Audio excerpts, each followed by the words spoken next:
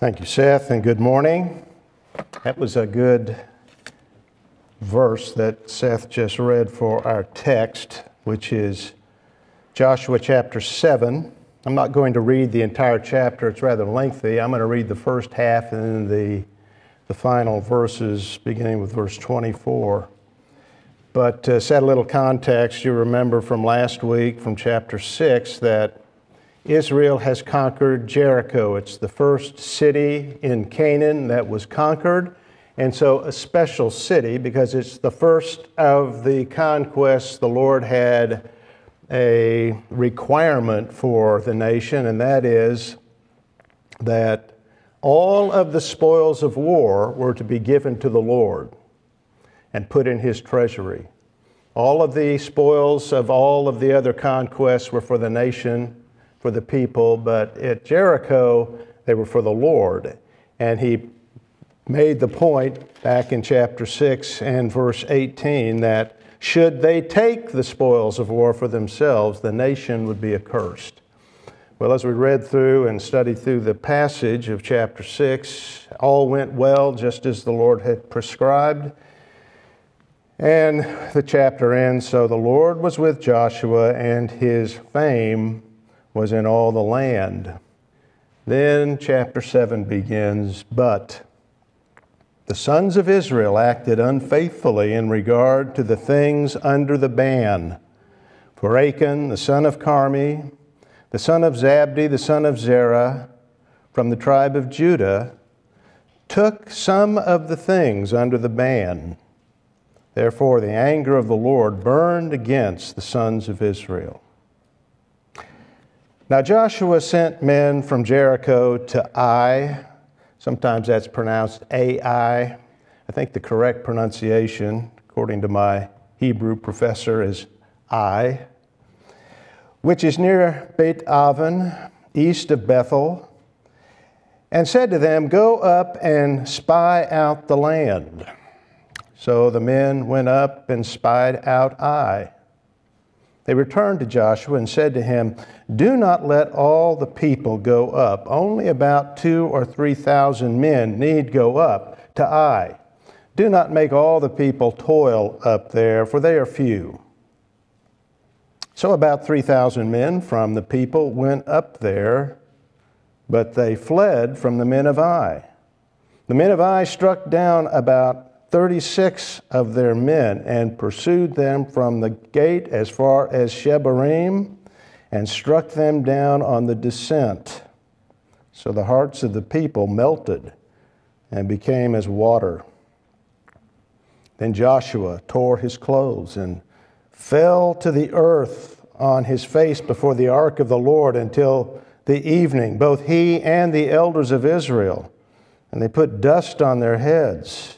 Joshua said, Alas, O Lord God, why did you ever bring this people over the Jordan only to deliver us into the hand of the Amorites, to destroy us?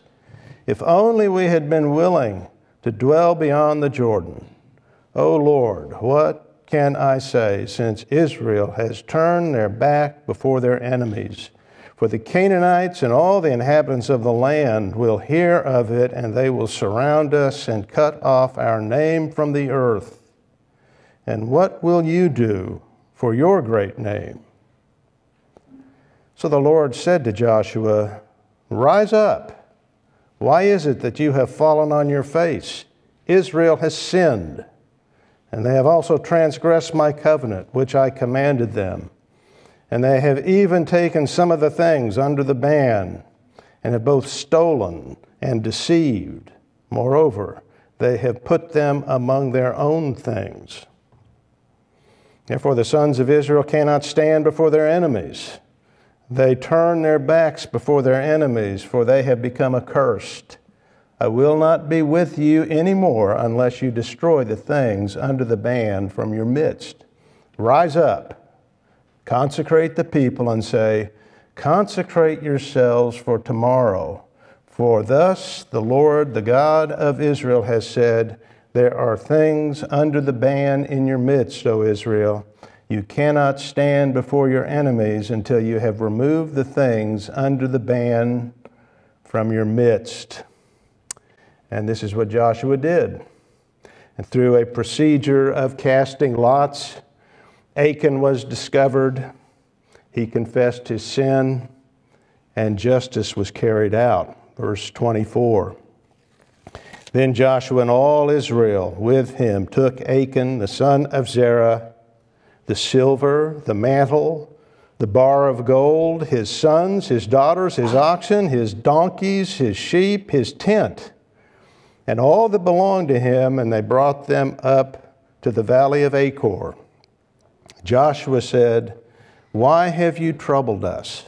The Lord will trouble you this day. And all Israel stoned them with stones, and they burned them with fire after they had stoned them with stones. They raised over him a great heap of stones that stands to this day. And the Lord turned from the fierceness of his anger. Therefore, the name of that place has been called the Valley of Achor to this day. May the Lord bless this reading of his word and bless our time of studying it together. Let's bow together in prayer.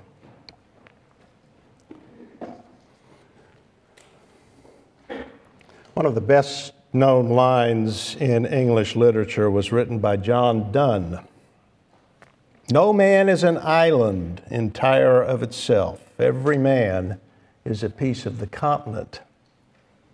The poem is actually about death and ends with another famous line about a funeral bell. Never sin to know for whom the bell tolls, it tolls for thee. But what the poet was saying is none of us is an individual only, separate, an island, self sufficient.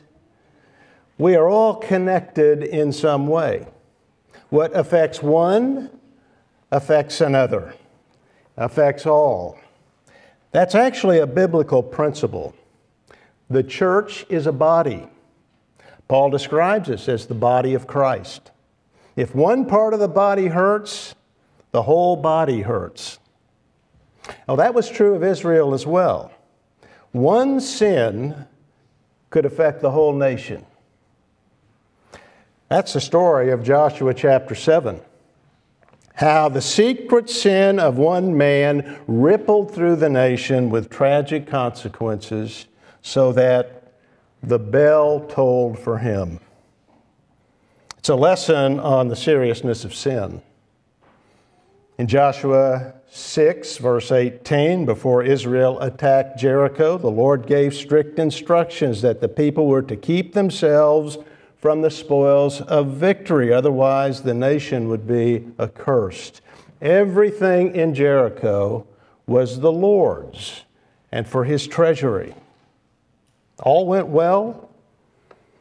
They conquered Jericho burned the city, and verse 24 says, Only the silver and gold, the articles of bronze and iron, they put into the treasury of the house of the Lord.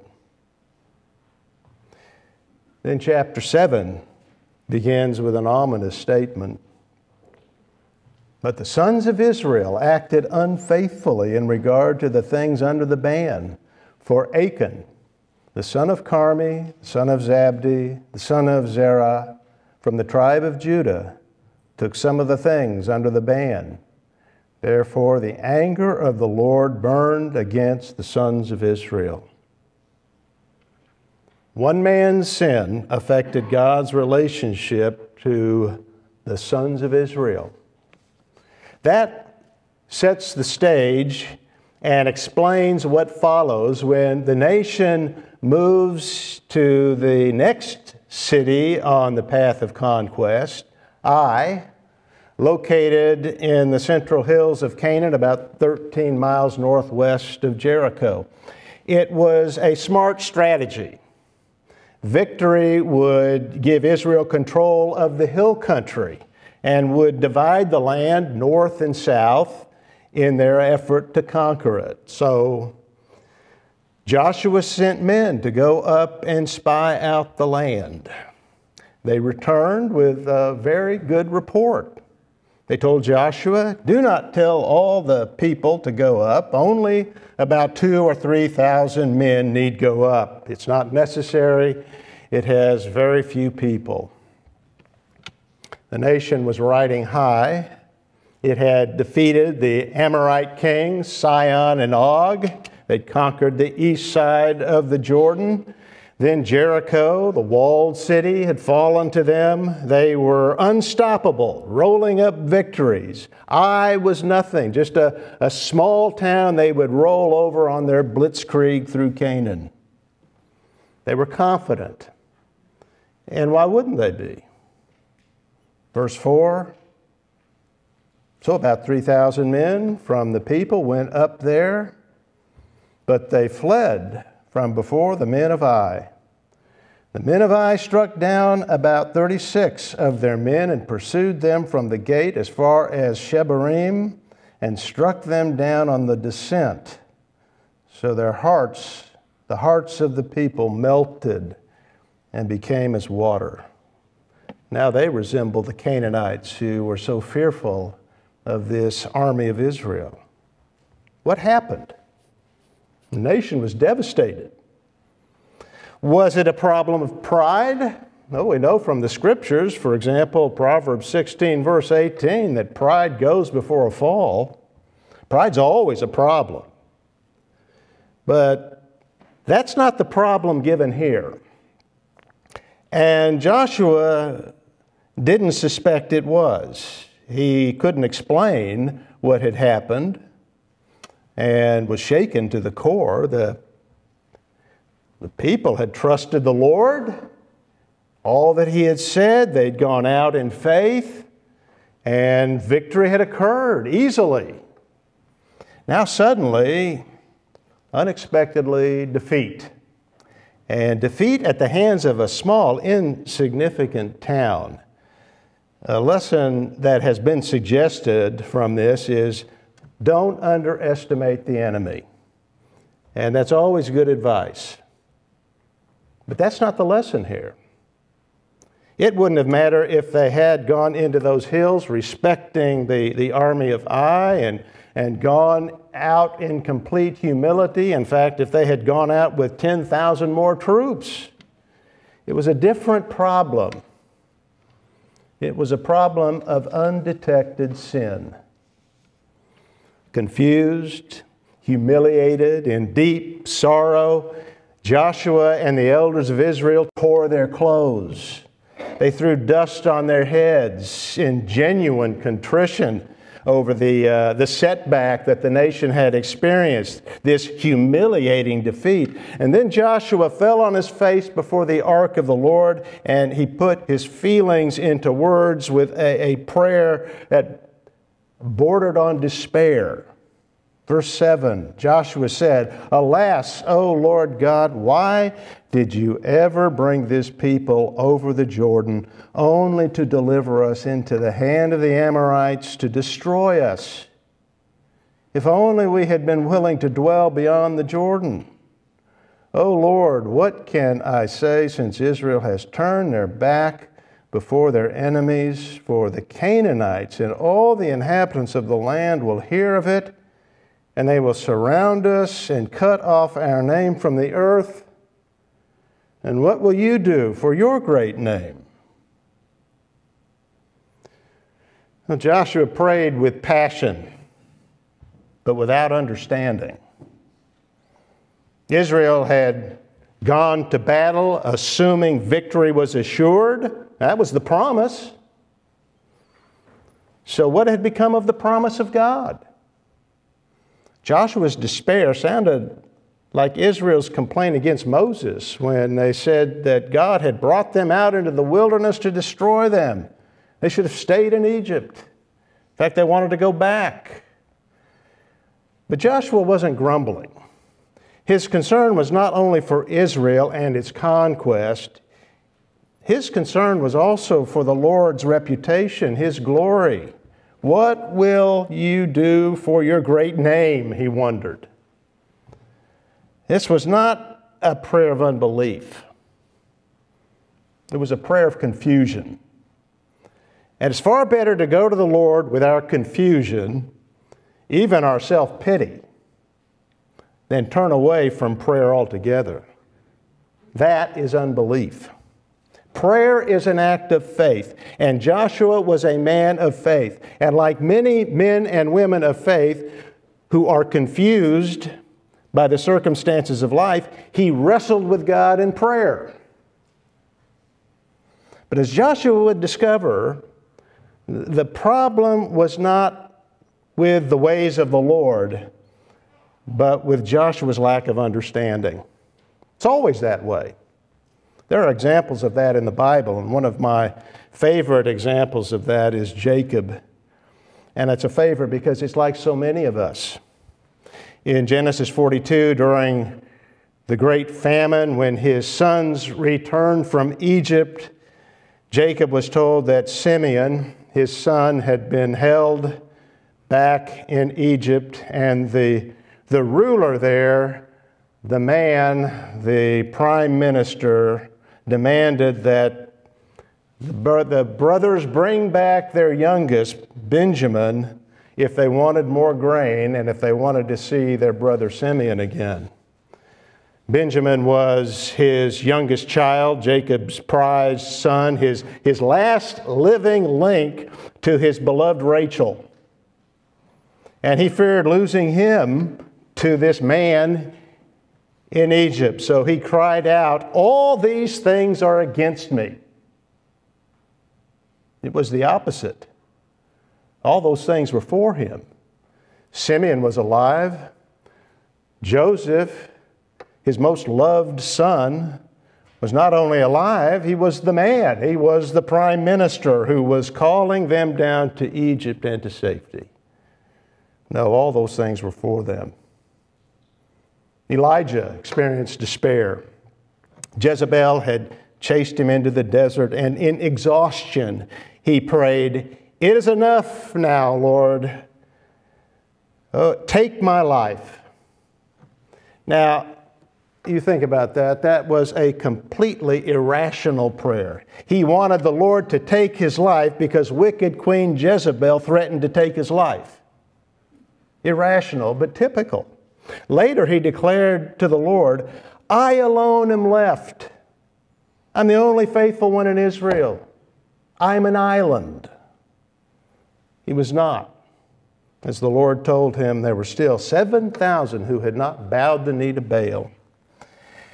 The reason for the, these troubles among the saints was not the Lord's failure, it was a lack of understanding and a lack of faith on their part. But even though he, he was confused and lacked a correct understanding, still, Joshua had gone to the Lord with his concerns. And because he had, because he'd gone to the Lord in prayer, the Lord answered him. His answer was abrupt, but gave correction. Verse 10 The Lord said to Joshua, Rise up why is it that you have fallen on your face? Israel has sinned, and they have also transgressed my covenant, which I commanded them. And they have even taken some of the things under the ban and have stolen and deceived. Moreover, they have put them among their own things. That was not only an answer to the problem, it was not only an explanation for why defeat occurred in spite of the great promise of victory that the Lord had given. But this was uh, not only that, it was a rebuke to Joshua, not for his prayer, but for his failure to detect, to detect sin as the reason for the defeat. Joshua, who had seen the consequences of sin in Israel in the previous 40 years, should have detected the symptoms of the disease that was in the camp, this spiritual problem.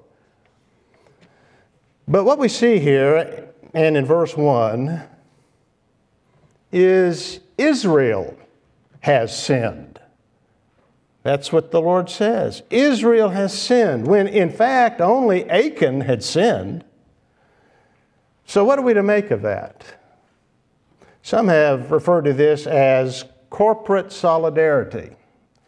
And what they mean by that is this is a case of one person, Achan, being seen as a representative of the whole group of all Israel.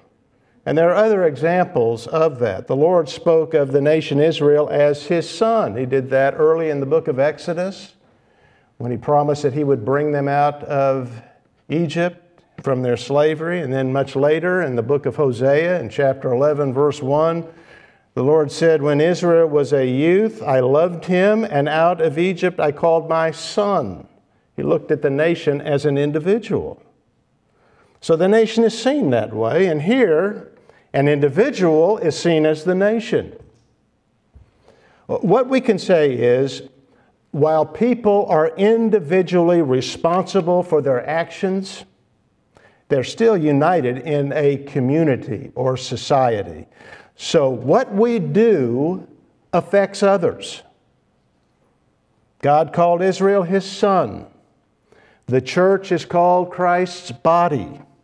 We are connected, and the things we do individually affect one another. Here, Achan's sin affected the whole nation, so that the nation shared in his guilt. When there is sin in the church, it affects the entire church. Just as when we have a virus in our body, it affects the whole body. Now, the Hebrew word for sin is an interesting word. Uh, it's a word that, in a sense, defines itself. In the book of Judges, chapter 20 and verse 16, this word for sin is used in a military context. It's not used in a moral sense, but the way it's used gives us a sense of the meaning of sin. It's used of warriors of the tribe of Benjamin. They were left handed men who could sling a stone at a hair and not miss. The word miss is the word for sin. Sin is missing the mark. And these warriors didn't miss the mark. They were so accurate they could hit a hair at a great distance. The target for us is never that narrow or difficult, and it, it, it, it's always broad and obvious, and it was for Achan. There's no mistaking the target. Don't take anything from Jericho, anything. Keep yourselves from the things under the ban. But Achan couldn't do it. It was just too tempting. Now, we might be inclined to go easy on Achan, recognizing how inviting all of that was, how inviting and tempting the glitter of gold and silver are.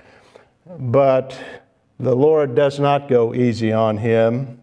There are no small sins to God. It is all serious. And the seriousness of the sin and the Lord's anger over it is indicated in verse 11, where he used six words, six verbs to describe what Achan did. They build progressively to the end. They include Achan, but then they, they include the whole nation. He sinned, he transgressed, and then it's the nation. He says, They have taken the stuff, stolen, deceived, put it, meaning hidden it. Achan did it, but it's ascribed to the nation. Israel has sinned. And so the Lord told Joshua to get up. Get up and fix the problem. Why are you here before the ark, Joshua, when you should be out in the camp dealing with the sin? Rise up. And to show how serious all of this was, the Lord gives the consequences of it in verse 12. There would be no blessing from the Lord until the sin was dealt with and all of the treasures that had been stolen were removed from the camp. I will not be with you anymore unless you destroy the things under the ban from your midst. What a change that is from chapter 1 and, and the statement, I will be with you, I will not fail you or forsake you. It's the same with us. We cannot expect the Lord's blessing on ourselves individually. We cannot expect the Lord's blessings on the church if we're living in disobedience. I heard a sermon not long ago in which a preacher, a man that I know, spoke of a minister in his community who had just left a church that was thriving. It had about 500 members. Ten years earlier, he had been sent to that church to bury it. It was dying. When he arrived, it had about 20 members. But he discovered that there were two families among that small group that were feuding. So he talked to them. They agreed to meet. The division was cleared up, and the church was blessed and it began to grow. God requires of his people unity and love, and unity not only in love for one another, but unity in doctrine. That's what he blesses. Sin has consequences for us personally and as a church and as a nation. It results in loss of power, loss of influence, loss of joy and growth. It results in defeat. Did for Israel. And so in the next verses, the Lord directs Joshua in the process that would expose the guilty person. First, the people were to be consecrated, set apart, and dedicated to the task. And then next, they were to draw lots.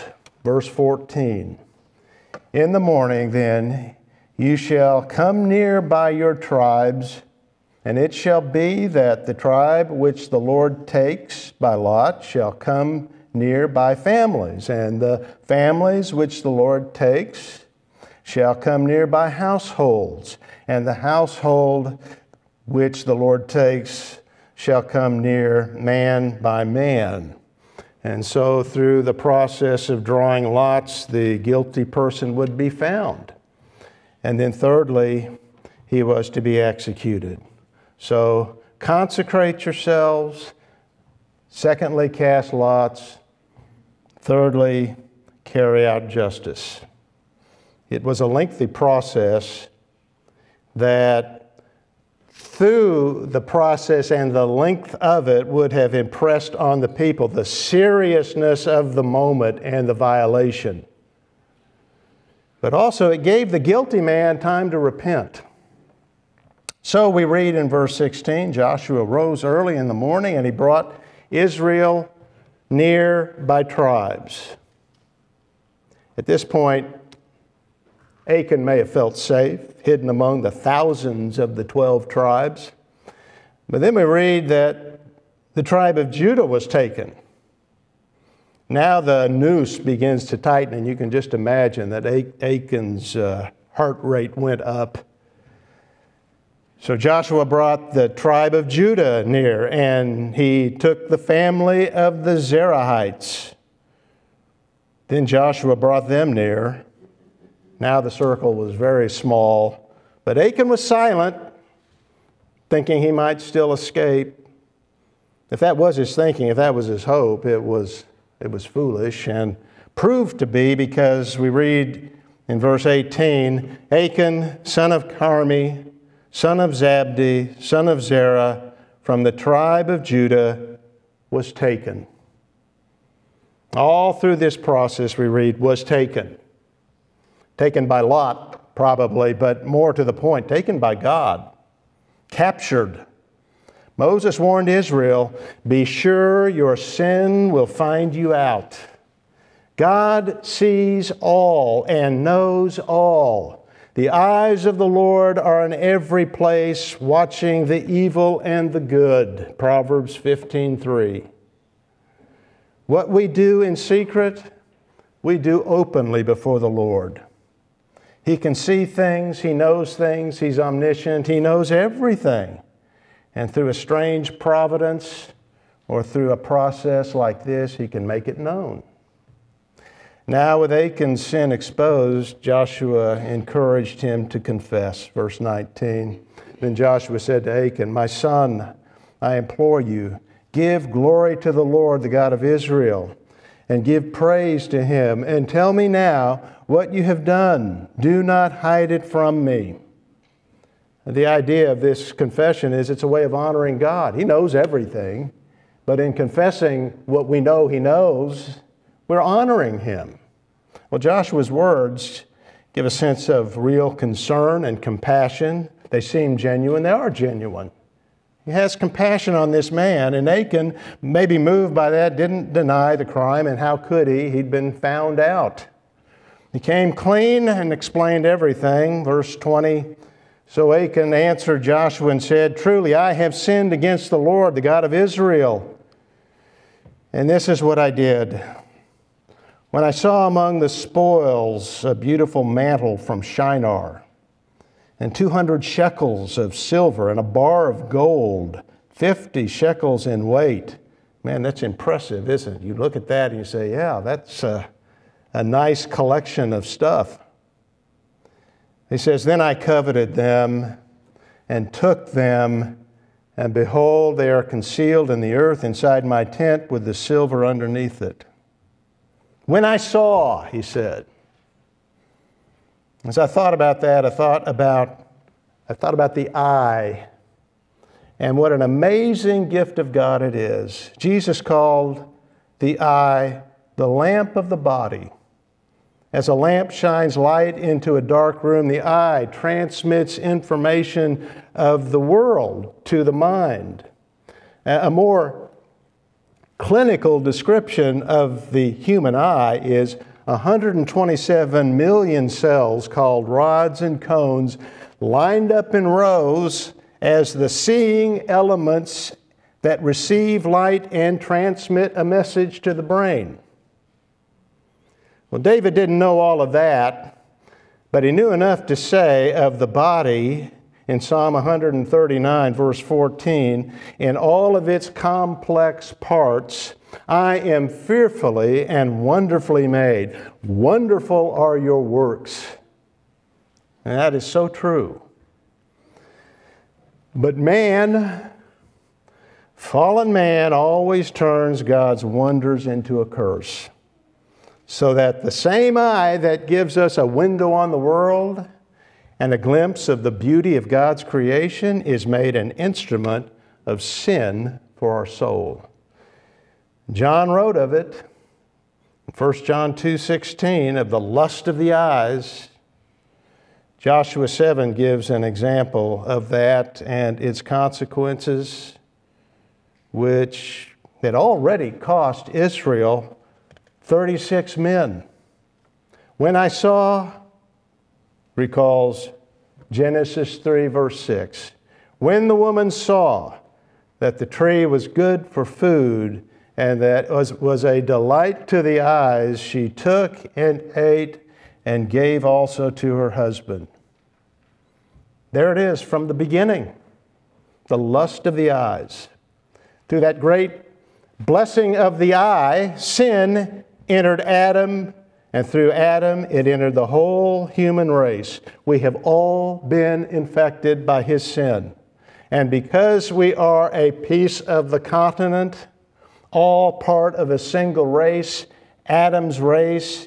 Now, as John Donne wrote, the bell tolls, it tolls for thee, for every one of us. Now it would toll for Achan. Following his confession, Joshua sent two men to verify his account and to retrieve the treasures they brought them back and poured them out before the Lord, probably there at the tabernacle. Then, with the trial complete and Achan's guilt established, his sentence was pronounced and carried out. Verse 24 Then Joshua and all Israel with him took Achan, the son of Zerah, the silver, the mantle, the bar of gold, his sons, his daughters, his oxen, his donkeys, his sheep, his tent, and all that belonged to him, and they brought them up to the valley of Achor. Joshua said, Why have you troubled us? The Lord will trouble you this day. And all Israel stoned them with stones, and they burned them with fire after they had stoned them with stones.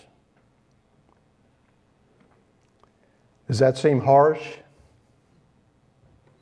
Admittedly, it does to many, too harsh. Uh, we're inclined to give Achan a pass on this since we realize how easily we could fall into the same sin of coveting and do. You might have even sensed that as you read these treasures that he had seen and that he, and that he coveted. Uh, nevertheless, Achan was guilty. He confessed his guilt. Truly, I have sinned against the Lord. And all of Scripture teaches what Paul wrote in Romans chapter 6 and verse 23 The wages of sin is death. And God chose to demonstrate that by enforcing justice rather than showing mercy, because it was necessary to teach Israel the seriousness and the widespread effects of sin. But still, why his family. Maybe we wonder they had some involvement in this. We don't know, but you think about it, they may have been accomplices. After all, he buried the treasures in his tent. Seems unlikely that it would been, have been a secret to them. Now, that's one explanation that's been given for including the entire family and all of his possessions in this penalty. Uh, we can wonder about these things without second guessing God or questioning his justice. Abraham asked, Shall not the judge of all the earth deal justly? It's a rhetorical question, and the answer to that is yes. He will always deal justly, and that's where we begin in our understanding of such things. But again, there is a purpose to all of this. It's for us as much as it was for Israel. And it is to show us how serious sin is and how it affects others, how thing, the things that we do have wide ranging consequences. And so, to make that a lasting lesson for the nation, the, the stones they piled up over Achor, Achan rather, and his family were left as monuments to the event and, and a reminder to them of the consequences of sin. Verse 26 ends Therefore, the name of that place has been called the Valley of Achor to this day. Achor is a play on the name Achan, it's a pun. It means trouble because Achan brought Achor on Israel the Lord brought Achor on Achan. That's the idea. Remember the trouble that comes with sin. And so Israel had another stone monument like the one at Gilgal, but this one was to remind the people of the consequences of sin. Nothing is hidden from the Lord. Psalm 139 Darkness and light are alike to you, for the eyes of the Lord move to and fro throughout the earth. Our eyes move to and fro as well, and that is often the problem. The lust of the eyes. The problem, though, is not with the eye, it's with the heart, the mind and will that acts upon the information transmitted to it. And James gives a, a, development of that, the development of sin and its consequences in James chapter 1, verses 14 and 15. It's a kind of anatomy of sin, tracing the development of sin. Each one is tempted when he is carried away and enticed by his own lust. Then, when lust is conceived, it gives birth to sin. And when sin is accomplished, it brings forth death. In other words, sin kills. It may kill physically or spiritually, but the result of sin is it always has destructive consequences on a person's life, as we have seen here, and among the people of God. We are not islands. We are all a piece of the continent. Christians are members in the body of Christ. That's what the church is. And as Paul explains in 1 Corinthians 12, verse 14, the body is not one member, but many. Each member is dependent on the others. We are a whole. When one part is sick, the whole body is sick. But also, when we are healthy, we are a blessing to the rest. That's Paul's point. If one member suffers, he says, all members suffer with it. If one member is honored, all members rejoice with it. Now, that should be our goal. We are joined together intimately in a body. It should be our goal to make the members of that body rejoice, to make the body healthy and whole and useful. In Romans chapter 6, verse 11, Paul gives the first command in the book. He's developed doctrine in the first six, six or five and a half chapters, and um, in the development of the doctrines, the prominent, the prominent doctrine that stands out, the, the main theme of those chapters is the doctrine of justification by faith alone. We, through faith in Christ, are made right with God, forgiven, and righteous in His sight. But also, we are new creatures in Christ. The power of sin in us has been broken. So Paul says, reckon that to be true. Consider yourselves to be dead to sin, but alive to God in Christ Jesus. He develops that in the next two verses, um, in verses uh, 12 and 13. Therefore, do not let sin reign in your mortal body so that you obey its lusts. And do not go on presenting the members of your body to sin as instruments of unrighteousness, but present yourselves to God as those alive from the dead, and your members as instruments of righteousness to God. Now, that word instruments is also the Greek word for weapons. Don't use the members of your body, your eye, your ears, your hands, your feet as weapons of unrighteousness, but of righteousness. Be careful what you look at and where you go. We need to understand who we are and live according to it. We are new creatures with new abilities, members of one body, the church. We are joined together in Christ.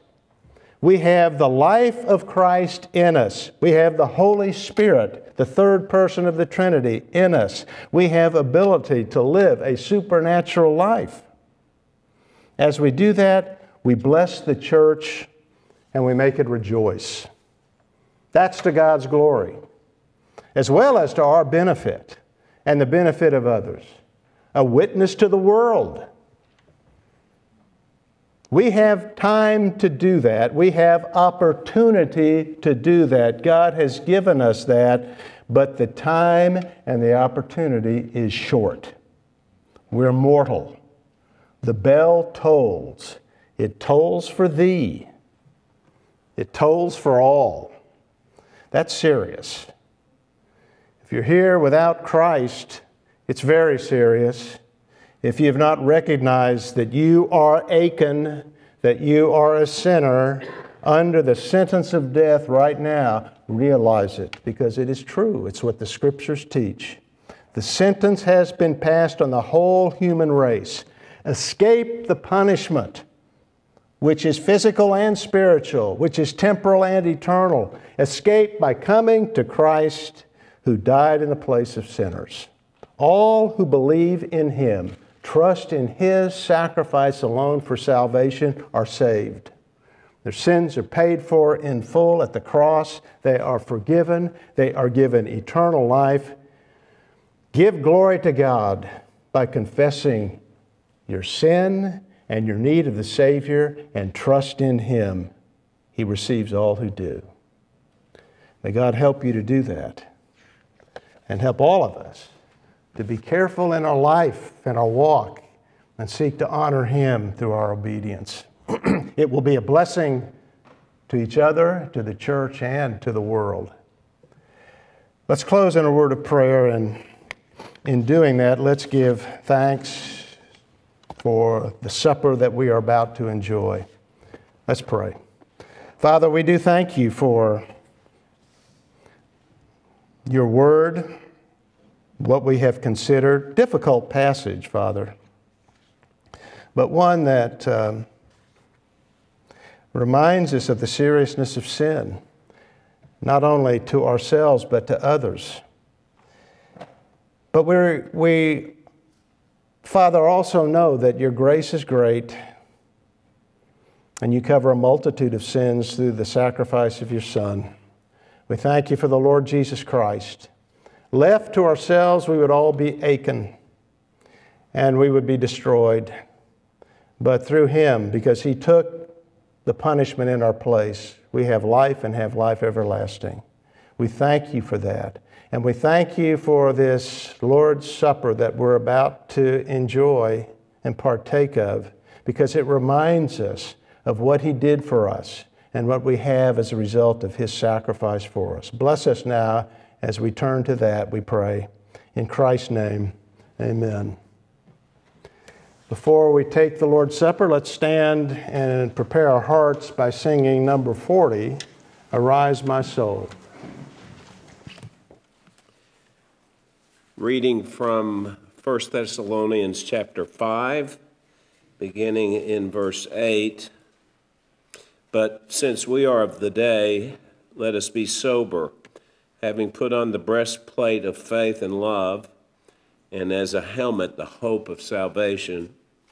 For God has not destined us for wrath, but for obtaining salvation through our Lord Jesus Christ, who died for us, so that whether we are awake or asleep, we will live together with him.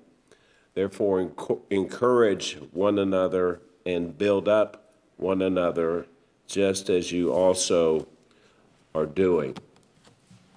As we move into our observance of the Lord's Supper, I'd like to draw your attention to just the one idea out of that passage of hope. It's found at the end of verse 8 the hope of salvation.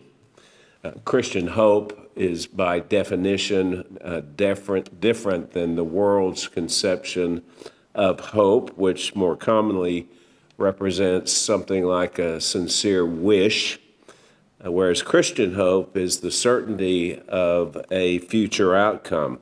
And in the context of Paul's message here, uh, the content of this hope is what is represented in the elements of the Lord's Supper. Uh, the bread, representing the body of Christ given over in death for his people, the wine uh, representing his blood. So it's obviously the language of sacrifice. This is my body given for you. Uh, this cup is the new covenant in my blood, shed or poured out for the forgiveness of many. Uh, here is no empty sacrifice, no foolish sacrifice, certainly no cheap sacrifice, but a, a, sacrifice of the greatest value, or as we say, of infinite value, uh, so valuable that by it, uh, Jesus Christ purchased for us a perfect and sure hope. The content of the hope, the apostle tells us in these verses, is salvation, uh, defined in verse 10 in a way that has meaning for all who belong to him by faith, especially perhaps today in the light of loved ones who have recently uh, departed from us, that whether we are awake, Paul says, as we all are here now, or asleep, as we all, uh, unless Jesus comes before, will one day be. We will live together with him. That's Christian hope. And it's expressed, as I said, in, in these elements. And as we partake of them now, uh, we are to be encouraged as the 11th verse of our passage indicates. We're, we're to be encouraged, which is just what we're doing, uh, Sunday by Sunday, as we build up one another in hope. And so, if you're present with us today, and you can say that I have believed that Christ Jesus offered his body and his blood uh, for me in my place, and because of that, I ha- have the hope of salvation. And we want you to participate with us now in the Lord's Supper. Let me give thanks for the bread. Father, thank you for this bread, such a simple um, thing, uh, a, a, a, simple uh, element that is important only uh, for what it stands for. Uh, it stands for uh, the incarnation of very God of very God, the Son of God, who came and took upon himself human flesh, lived without sin, and gave himself uh, for us so that we might live and have hope. We thank you in Jesus' name. Amen. I'm going to read a verse from Revelation chapter 7. In Revelation 7, John has a vision of heaven, and in it he sees two groups.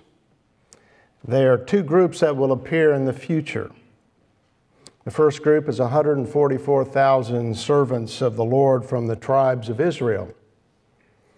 The second is a great multitude of Gentiles from every nation, too many to count. They wore white robes, they carried uh, palm branches, they cried out in a loud voice Salvation to our God who sits on the throne and to the Lamb. One of the heavenly persons, one of the elders who were with John asked John, uh, Who are these who are clothed in white? And in verse 14, we read, I said to him, My Lord, you know. And he said to me, These are the ones who come out of the great tribulation, and they have washed their robes and made them white in the blood of the Lamb. Very interesting statement. Blood that makes white. That is a unique washing and a completely sufficient one as well. A bath in the blood of the Lamb, which is the sacrificial death of Christ that has unique cleansing power. It removes our uncleanness, all our sin and guilt. The word washed is a simple past tense in the Greek text, and it refers to an action that took place in a moment. So it speaks of faith. It wasn't a process of cleansing. At the moment of faith in Christ, in his person and his sacrifice, they were cleansed by the blood, clothed in white robes, meaning justified, fully forgiven, and accepted by God forever. That's true of every believer in Jesus Christ. You are clothed in white. In the righteousness of Christ, you possess that. And you possess his victory over sin and death and have the hope to come, the hope of heaven, the hope of the kingdom to come, the hope of all eternity. He did that for us. He did that for every believer in him. Let's remember that as we give thanks for the cup which speaks of his sacrifice that cleanses us from sin and guilt. Let's pray. Father, we thank you for that, that blood that doesn't stain, but washes sin away, removes the stain of sin, and then replaces it with the righteousness of Christ. we thank you for that. Help us to remember that and appreciate that as we take the cup that speaks of his death for us. In Christ's name, amen. Let's close with the benediction. The Lord bless you and keep you. The Lord make his face shine on you, and be gracious to you. The Lord lift up his countenance on you and give you peace. Amen. Good to see all of you here this morning. As you run the race of faith this week, keep your eyes fixed on Jesus, the author and perfecter of faith, and by God's grace, we'll see you again next week.